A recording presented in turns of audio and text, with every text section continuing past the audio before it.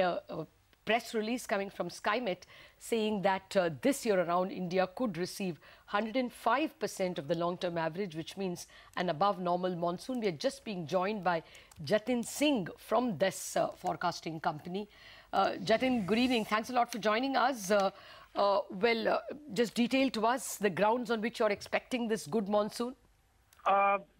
Uh, you know the cooling El Nino. It's been steadily going down, and we think that uh, by the last two months, which is say uh, August and September, you would be you know it would be uh, by, by the end of the monsoon, you might uh, get into La Nina, which is a very good thing.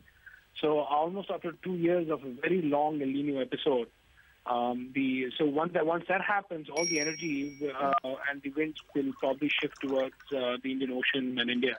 Okay. And that is what seems to be being reflected overwhelmingly in all the global models right now. Okay. So, What are the chances that uh, uh, this El Nino, which has been worrying us, continues up until June or July? Will we lose our sowing season?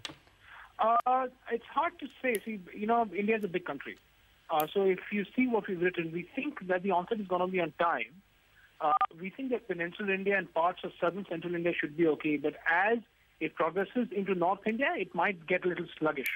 So I'm not a star of June 2015, uh, 2016, but later in the month, by July or so, it, things will definitely pick up.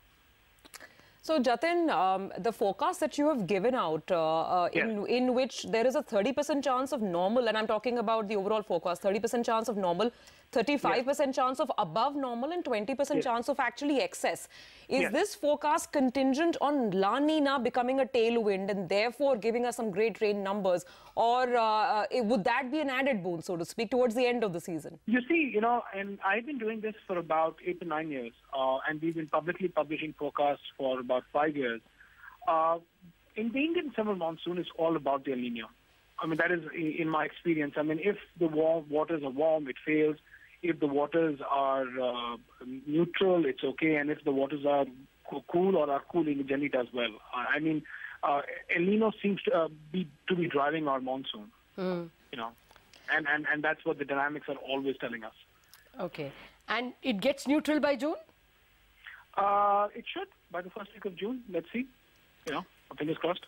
Jatin, I know it's really early days right now, but uh, any sort of reading in terms of the distribution, you mentioned it might get a little sluggish up north, but as the monsoon sets in, should we expect it to be a little even, at least, you know, during the first phase?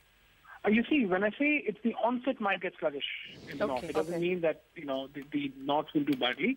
From whatever indications are there globally, you find that northeast is the one that might not be at on par, but the rest of the country looks okay, especially central India and west coast. I would say Maharashtra, MP, Rajasthan, Gujarat, uh, North India is all okay. Uh, going down south, except for probably one eastern state and, and most of the seven sister states of the northeast.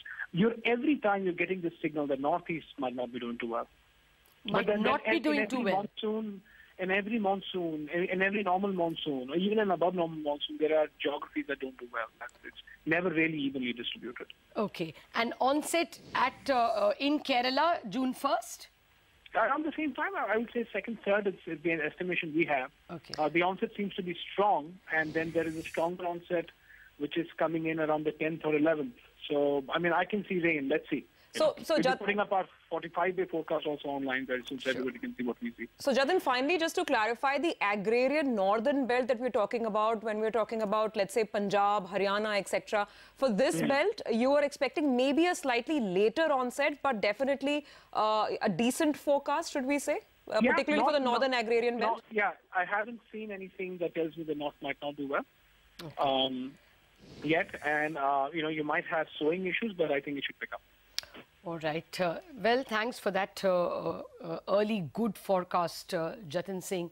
This time we will fervently pray that this is true, and it's okay if uh, uh, you know it's going to be a, a sluggish start and picks up later. But one hopes that it's an early start, at least uh, to the leeward side of the Western Ghats in Maharashtra itself, where things have gotten inhuman in terms of the absence of even drinking water.